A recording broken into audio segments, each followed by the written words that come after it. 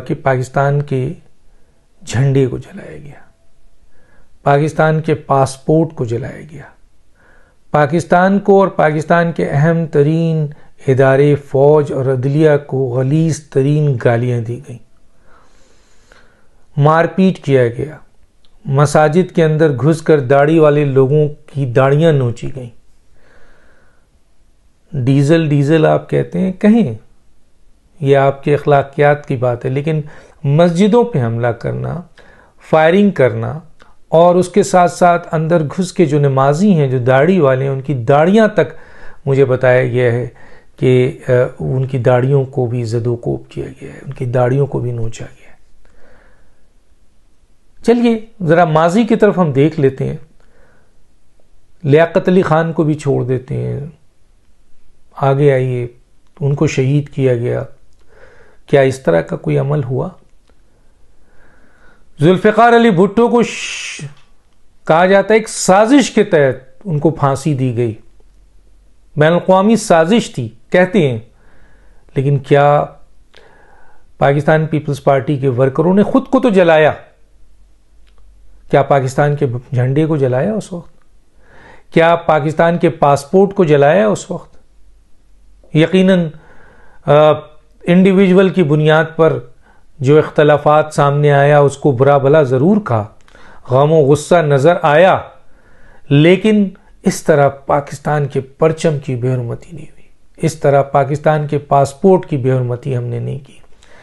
जिस पाकिस्तान ने, जिस पाकिस्तान ने हमें यहाँ और इन सबको इज़्ज़त दी, उसको सिर्फ़ महज इस बुनियाद पे कि इमरान खान साहब को अदम एतमाद की तहरीक लाकर क्यों हटा दिया गया? अदम एतमाद की तहरीक इमरान खान साहब को क्या इससे पहले तीन वज़ीर अजम को फेस करनी पड़ी? और भारत जैसे मुल्क में मैंने बताया कि 27 बार अदम एतमाद की तहरीक पेश की। भारत में 27 बार। हमारे और उनके आज़ादी में ज़्यादा देर का वक्फा नहीं है।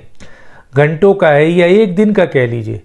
लेकिन वहाँ 27 अदम एतमाद आया, क्या किसी अदम एतमाद के ऊपर, वहाँ के जो वज़ी अजम थे या जो सरबरा थे जिनके ख़िलाफ़ अदम अतमाद आई, उन्होंने इस तरह का अमल किया। क्या उन्होंने आइन तोड़ा? और आइन तोड़ने के चक्कर में उन्होंने स्पीकर से भी आइन शिकनी करवाई और सदर से भी आइन शिकनी कराई। गोया एक एक ऐसा माहौल मुल्क में क्रिएट किया जिसके ऊपर, और वो भी वो माहौल वो मुल्क जो मुआशी तौर पर इस वक्त बहुत बुरे हालात से गुजर रहा है और डिप्लोमेटिक रिलेशन उसके बहुत तबाह हो चुके हैं उस मुल्क को हम अपनी सिर्फ़ अना की खातिर अपनी आ, अपने अपनी अपनी अपनी हविस इकतदार की खातिर तकबर की खातिर आपने पूरे मुल्क को दौ पे लगा दिया। जो आपने दो तीन दिन में पूरी दुनिया के सामने इस मुल्क की बेरुमती की इस मुल्क के पार्लियामेंट की बेहरमती की आइन की बेहरमती की और जुडिशरी की जो जजमेंट थी, उसकी बेहरमती आपके और आपके लोगों ने की, वो तारीख में याद रखा जाएगा। वो भूला नहीं जाएगा इमरान खान साहब। और जिस तरह आइन शिकनी हुई, क्या सत्ताईस अदम अतमाद में भारत में या दुनिया में मजीद जो अदम अतमाद है, कभी ये सुना कि वहाँ अदम अतमाद को फेस करते हुए इकतदार में बैठे हुए शख्स ने आइन शिकनी की और इस तरह का ड्रामा और तमाशा किया हो, जिसमें मुल्क को बेशुमार नुकसान पहुँचा। सुने, पाकिस्तान के तीन वज़ीर अजम ने भी अदम अतमाद किया। मोहतरमा बेनज़ीर भुट्टो तो खड़े होकर अदम अतमाद को फेस किया उन्होंने। सख्त तरीन उनके खिलाफ अपोजिशन ने ग्रुप बंदी की, बहुत कुछ हुआ, लेकिन उन्होंने आइनी और कानूनी रास्ता इख्तियार किया उनको कामयाबी हुई। तो गोया प्रोटेक्ट